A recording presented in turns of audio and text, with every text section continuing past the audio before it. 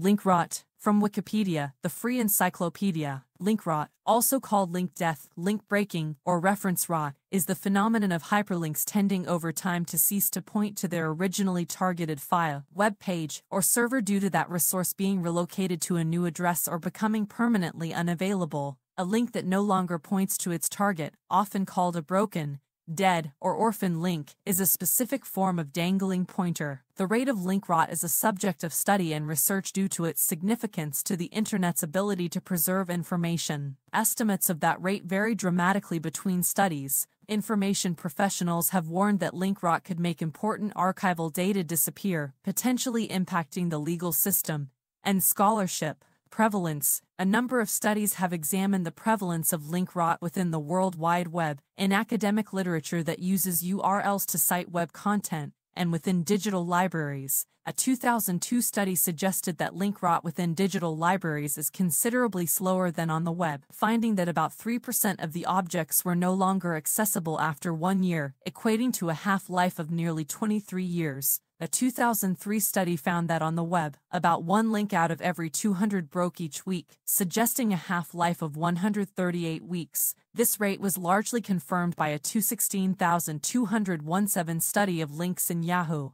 directory, which had stopped updating in 2014 after 21 years of development that found the half-life of the directory's links to be two years. A 2004 study showed that subsets of web links, such as those targeting specific file types or those hosted by academic institution could have dramatically different half-lives. The URLs selected for publication appear to have greater longevity than the average URL. A 2015 study by Weblock analyzed more than 180,000 links from references in the full-text corpora of three major open-access publishers and found a half-life of about 14 years, generally confirming a 2005 study that found that half of the URLs cited in D-Lib magazine articles were active 10 years after publication. Other studies have found higher rates of link rot in academic literature, but typically suggest a half-life of four years or greater. A 2013 study in BMC Bioinformatics analyzed nearly 15,000 links and abstracts from Thomson Reuters' Web of Science Citation Index,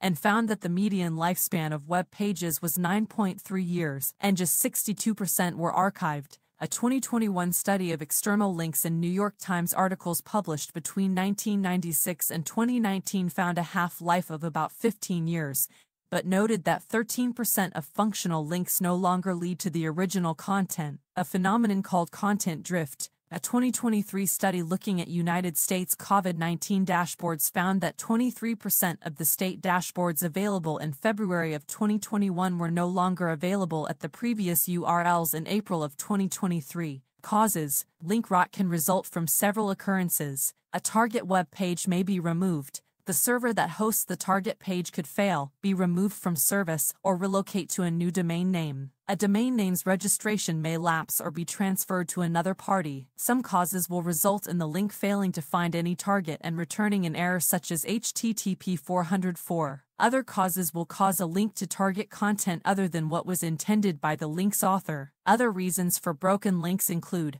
the restructuring of websites that causes changes in URLs, relocation of formerly free content to behind a paywall, a change in server architecture that results in code such as PHP functioning differently, dynamic page content such as search results that changes by design, deletion of the target page and or its content, the presence of user-specific information within the link, deliberate blocking by content filters or firewalls, the expiration of a domain name registration, prevention and detection, strategies for preventing link rot can focus on placing content where its likelihood of persisting is higher, authoring links that are less likely to be broken, taking steps to preserve existing links, or repairing links whose targets have been relocated or removed. The creation of URLs that will not change with time is the fundamental method of preventing link rot. Preventive planning has been championed by Tim Berners-Lee and other web pioneers. Strategies pertaining to the authorship of links include linking to primary rather than secondary sources and prioritizing stable sites, avoiding links that point to resources on researchers' personal pages, using clean URLs or otherwise employing URL normalization,